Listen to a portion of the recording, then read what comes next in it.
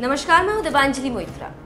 विश्व क्रिकेट में अपनी गेंदबाजी से तहलका मचाने वाले अफ़गानिस्तान के फिरकी गेंदबाज राशिद खान इन दिनों पूरी दुनिया से मदद मांग रहे हैं और मौजूदा वक्त में अफ़गानिस्तान में जो दौर चल रहा है, उससे वो बेहद हैरान, परेशान और आहत है। इसीलिए उन्होंने दुनिया भर के नेताओं से अपील करते हुए अफगानी लोगों को बचाने के लिए मदद मांगी। दरअसल, राशिद खान अपने देश में चल रही तालिबान की क्रूरता से काफ़ी आहत नज़र आ रहे जिसके बाद उन्होंने दुनिया भर से मदद मांगी। राशिद ने ट्वीट करते हुए लिखा, दुनिया भर के प्रिय नेताओं, मेरा देश संकट में है। प्रतिदिन महिलाओं और बच्चों समेत हज़ारों लोग मारे जा रहे घरों और संपत्तियों को बर्बाद किया जा रहा है।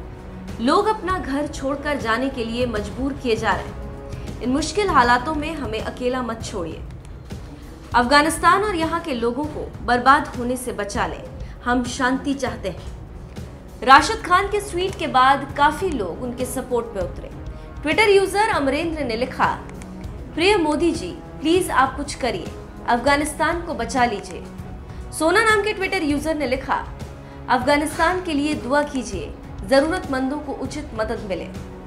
करीम आदल ने ट्वीट करते हुए लिखा, पाकिस्तान आतंकवादियों का समर्थन करता है और अफ़गानिस्तान में युद्ध चाहता है। दुनिया को पाकिस्तान पर प्रतिबंध लगाना चाहिए।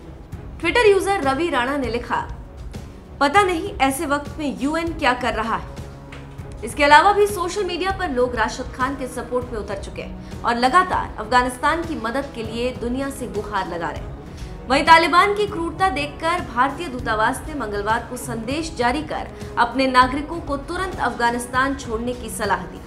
भारतीय नागरिकों से कहा गया है कि वे भारत लौटने के लिए तत्काल यात्रा की व्यवस्था करें। अफ़गानिस्तान में मौजूद भारतीय कंपनियों को भी आदेश दिया गया है कि तुरंत भारतीय नागरिकों को देश भेजने की व्यवस्था की जाए। इससे पहले 29 जून और 24 जुलाई को भी भारतीय दूतावास ने अपने नागरिकों को अफ़गानिस्तान के हालात को लेकर सलाह जारी की थी।